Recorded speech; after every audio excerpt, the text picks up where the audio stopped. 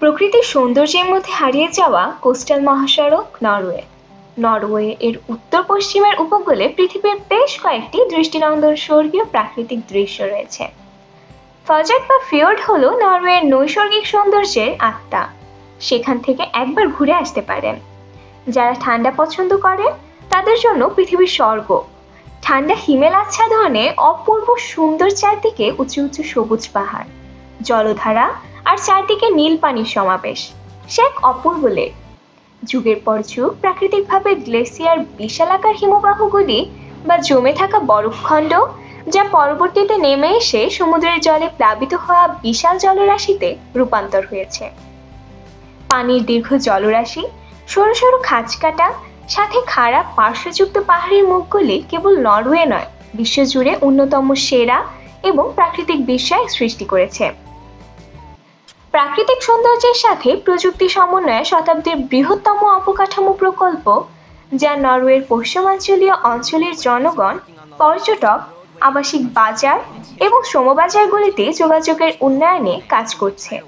এই মহাসড়ক বা হাইওয়ে সময়ের সাথে এই প্রকল্পটি ভ্রমণের সময়কে ত্বরান্বিত করবে, অর্থাৎ দ্রুত যোগাযোগ করতে পারবে সবাই।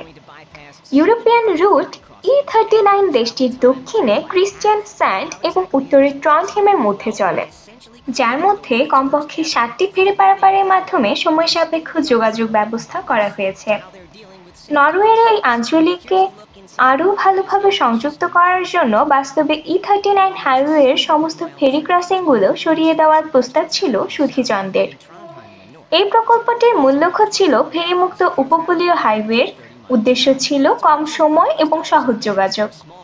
প্রকল্পটি এমন হবে যেখানে পুরো ল্যান্ডস্কেপ, মাটি ও পানির তলদেশ জুড়ে কয়েকটি ভাসমান ব্রিজ এবং টানেল দ্বারা সংযুক্ত একক রুট, যেখানে কোনো ইন্টারভেল থাকবে না।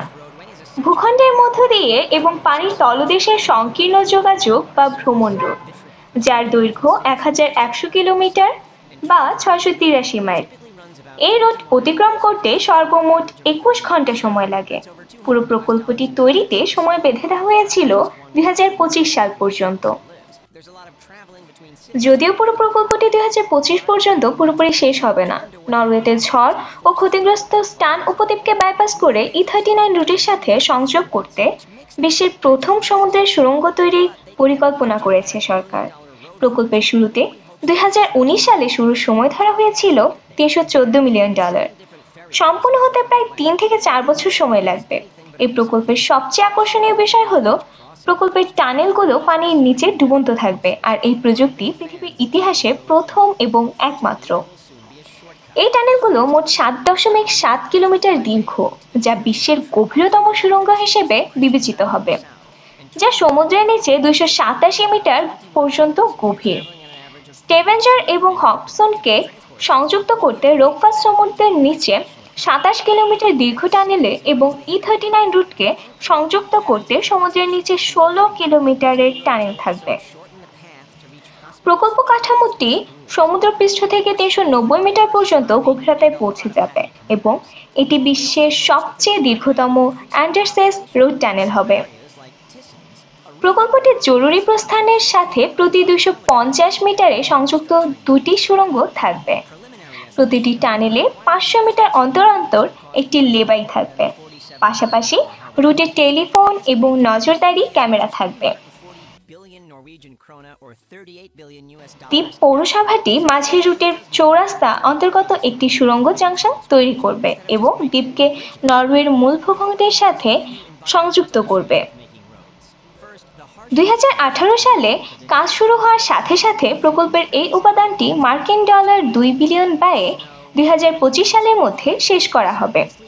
ইতোমধ্যে রোকফাস্টের কাজ চলছে। অন্য কয়েকটি ফিজোর্ডের স্কেল চূড়ান্ত প্রকৌশল চ্যালেঞ্জ সহ প্রকল্প দলকে উপস্থাপন করছে।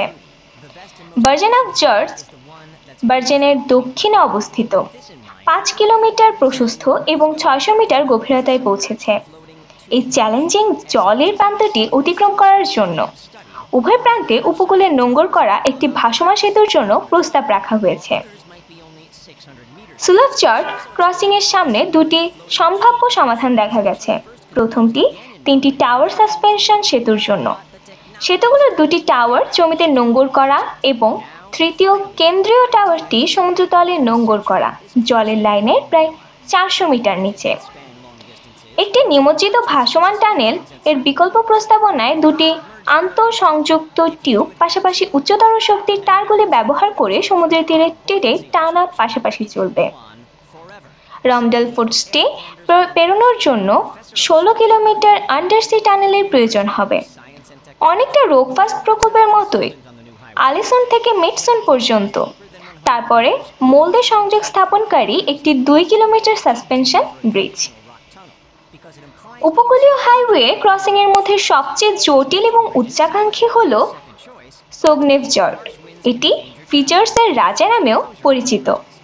নরওয়ের বৃহত্তম ও গভীরতম ফিজর্ডের উচ্চতম বিন্দুতে তিন দশমিক সাত কিলোমিটার প্রশস্ত এবং অবিশ্বাস্য এক দশমিক তিন কিলোমিটার গভীর দ্বীপ।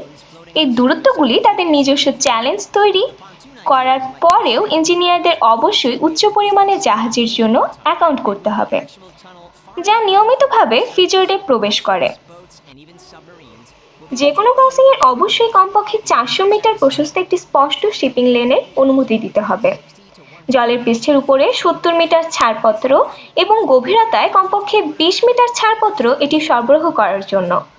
প্রকল্প দল এই ফিজর্ডের জন্য বিভিন্ন ধরনের ক্রসিংয়ের বিষয়ে বিবেচনা করছে। প্রথমটি হলো ঐতিহ্যবাহী সাসপেনশন ব্রিজ।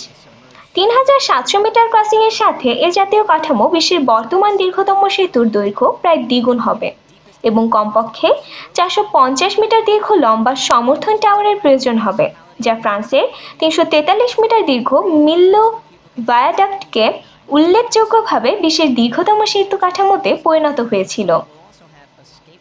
একটি ভাসমান সেতু বিবেচনা করা হচ্ছে। যাই হোক এই কাঠামোটি জাহাজগুলিকে পাশ করার অনুমতি দেওয়ার জন্য প্রয়োজনীয় হবে এবং কেবলমাত্র প্রতিটি তীররেখায় নোঙ্গর করা, একটি সেতুতে এমন বৈশিষ্ট্য অর্জনের জন্য যথেষ্ট প্রকৌশল চ্যালেঞ্জ দেখা দিয়েছে যেগুলো এখনও কাটিয়ে ওঠেনি।